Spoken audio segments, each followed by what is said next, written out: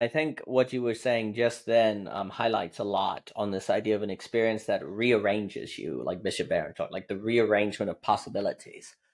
Basically, we need to think um, of what would it look like to have education, institutions, or communities in which the possibility of people being rearranged was much higher and could occur um, because that basically is the prerequisite for global pluralism not to turn into an, uh, to regress, to be a kind of disaster.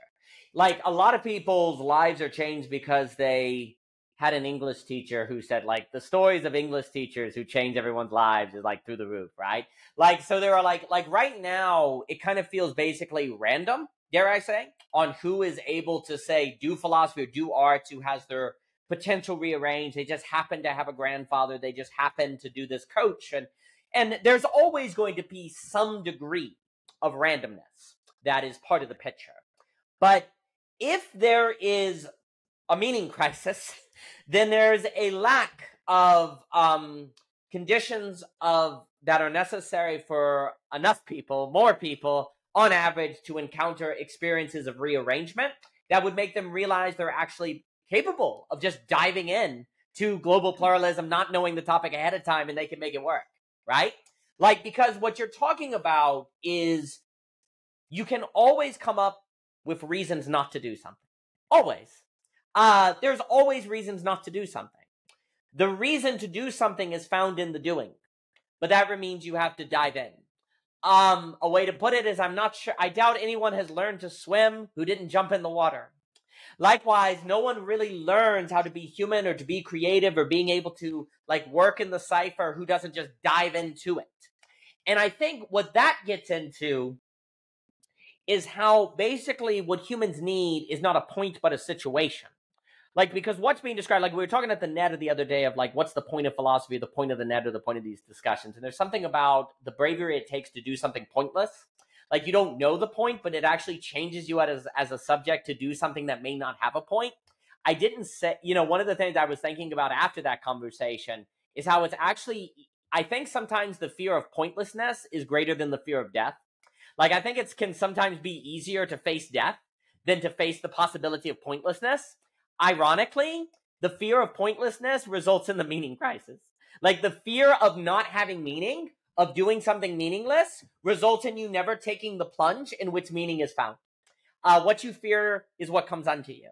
If you're afraid of doing something and doing a bad job or doing something that's pointless or doing something that's meaning, then that guarantees it. you have to jump in. And funny enough, philosophy is pointless because philosophy is a situation. It's a way of life. Art is pointless because art is a situation. It's pointless because it's a higher geometry. It's not something with a point, it's a mode and way of being in the world. Many things that are pointless are actually situations. And you could say that the meaning crisis is a situation crisis, per se. It's a lack of situations in which people dive in to find their true selves, right? It's like the phrase, and Raymond makes this point, where when Socrates and all of them say, know thyself, know thyself is a phrase of going to the gymnasium. You know yourself by finding out if you can climb a mountain. You don't know yourself by asking internal questions of what's going on. You know yourself when you do something hard, when you do something you're scared of, when you try to climb a mountain. So, knowing yourself, the philosophical knowing yourself, the thumos, as I was saying with Aspasia, is found in situation, not in point. Like, what's the point of your existence? Well, it's X, Y, and Z or whatever. It's like, well, they're, they're, I don't know. And if you find a point, the only way to find a point for the human being is reductionism. You have to reduce yourself to a single quality and say that's your point, right? But if you want to know yourself and not be reductionist, then it, then you must be a situation. Well, how do you be a situation? That means you have to throw yourself into something of which you will always have reason not to do. This is the key. Like if you want to have meaning, you have to face the reasons not to do something. So there's always a courage. Like Alex Ebert has said, the meaning of life is courage. I like that phrase because you literally have to just do it. And likewise, a good society will rearrange the possibilities where you see yourself as, yeah, I just need to do it. I just need to jump in and kind of take the dive, right? Because like, like to the point, very often people are like, how do I write more?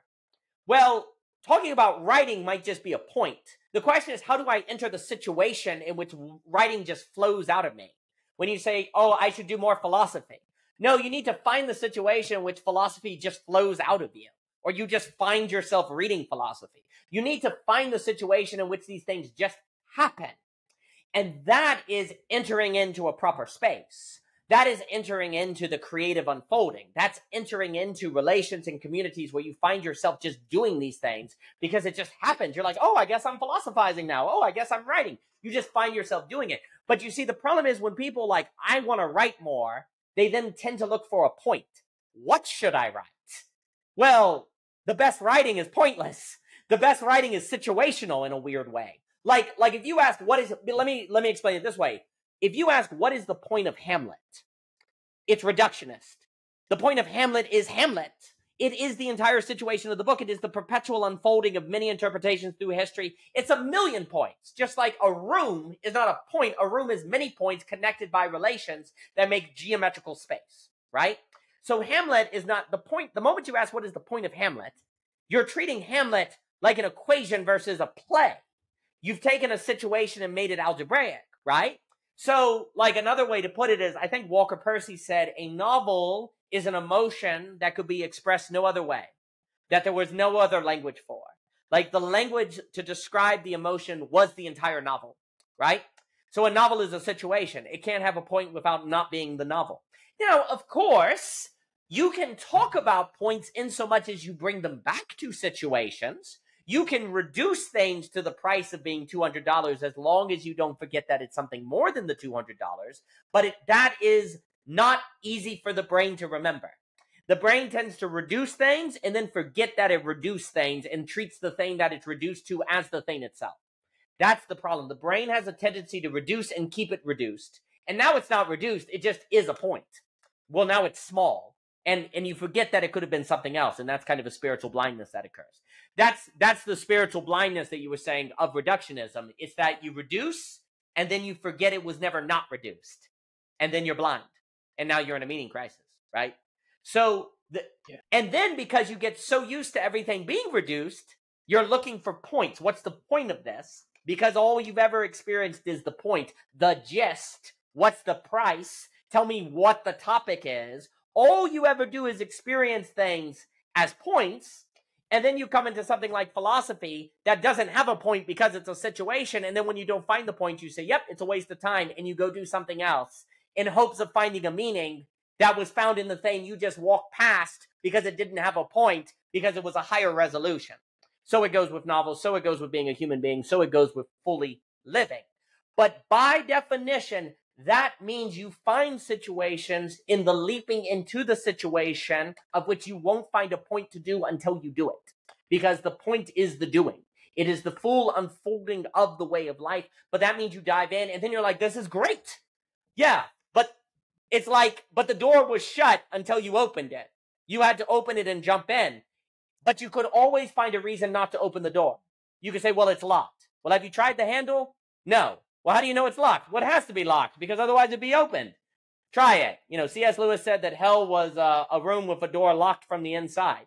I think that goes for most of our lives. I think that's what we we as human beings tend to do. We tend to put ourselves in rooms out of fear, out of not wanting to be seen as wasting our time, as not wanting to be seen as doing something pointless. We as human beings reduce ourselves to a room that is locked from the inside.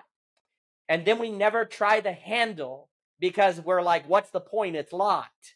Well, because it's not locked. Well, you don't know that. Well, why don't you know that? Because you haven't touched the handle. Why haven't you touched the handle? Because that would be pointless. And now you're stuck in a self fulfilling prophecy, a self justifying logic that keeps you in that locked room. And one day you wonder why you've never left this room and why you ne- and why you never thought to leave.